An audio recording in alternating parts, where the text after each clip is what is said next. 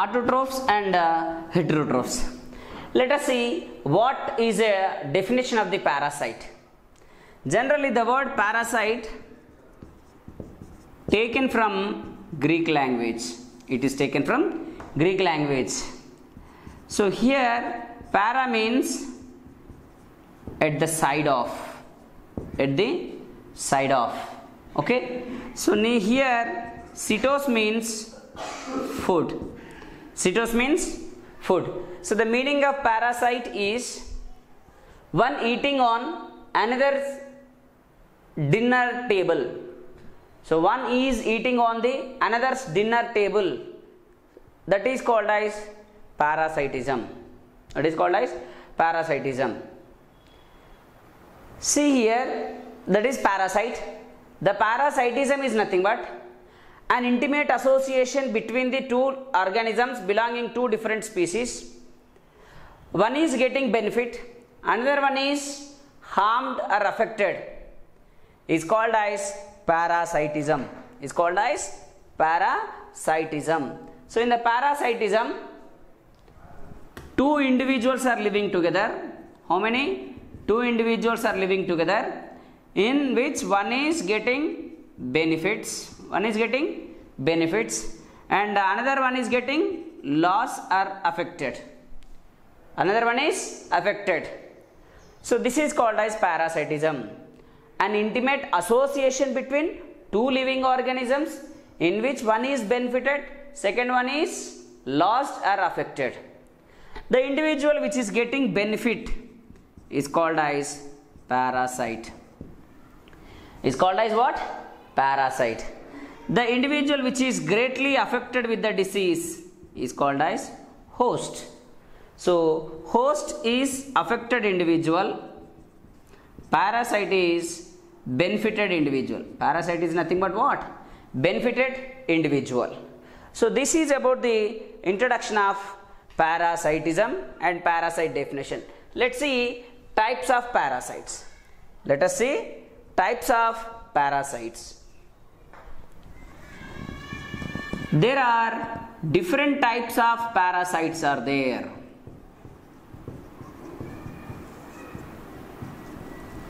Okay so here first ectoparasite. What is the first type of parasite? Ectoparasite.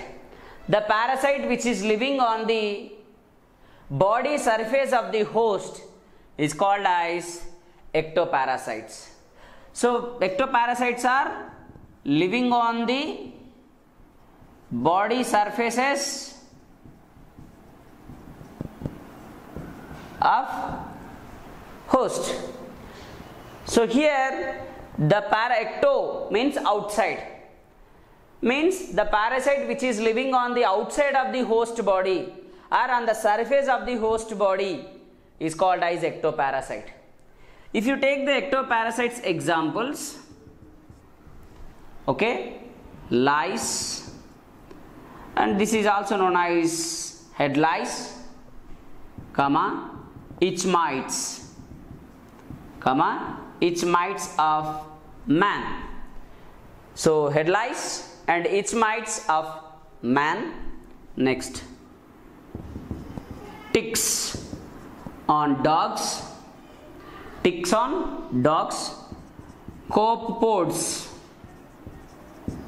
these copepods are ectoparasites on marine fishes.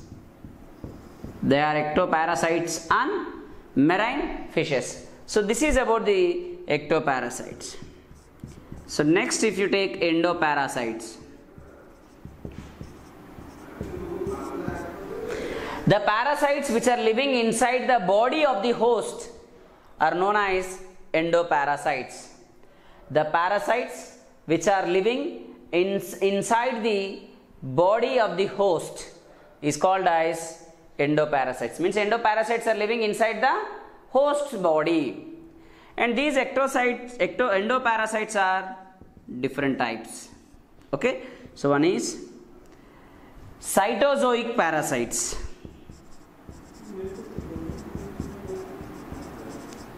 cytozoic parasites Cytozoic parasites are also known as intracellular parasites. Intracellular parasites. So, cytozoic parasites are also known as intracellular parasite. The parasite which lives in the inside the cells of host.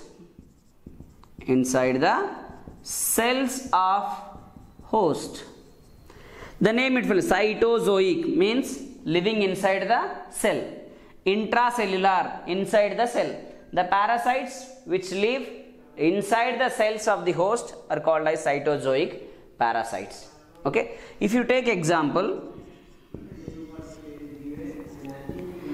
Plasmodium vivax. Plasmodium vivax. So Plasmodium vivax lives inside the liver cell as RBC.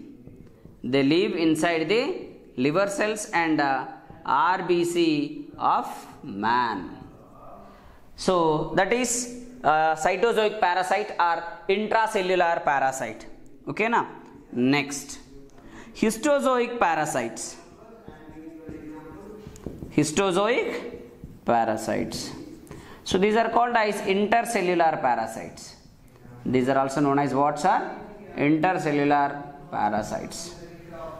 Okay, so here histo means tissue. The parasites which are living inside the tissues, inside the tissues, inside the tissues are in between the cells of a tissue. In between the cells of a tissue. So inside the tissue or in between the cells of a tissue is called as histozoic parasites or intercellular parasites. These are simply tissue parasites. These are simply what? Tissue parasites.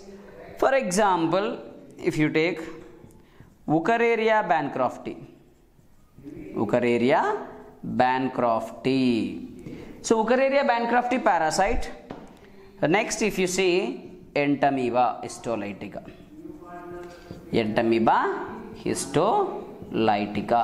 So here these two are these two are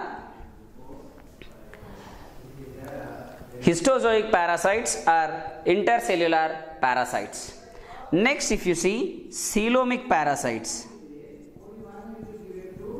Next type of parasites are coelomic parasites. So here the parasites which are living inside the body cavities of the host or cavities of the host. Okay. The parasites which are living inside the cavities of the host body are known as coelomic parasites.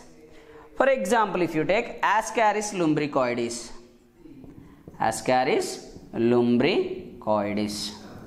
So Ascaris lumbricoides is considered as coelomic parasite. What is a coelomic parasite? The parasite which lives inside the cavities of the host of the body, host body is called as coelomic parasite. Example, Ascaris lumbricoides. So this is about the endoparasites. Next, if you see, there are digenetic parasites are there, monogenetic parasites are there, hyperparasites are there.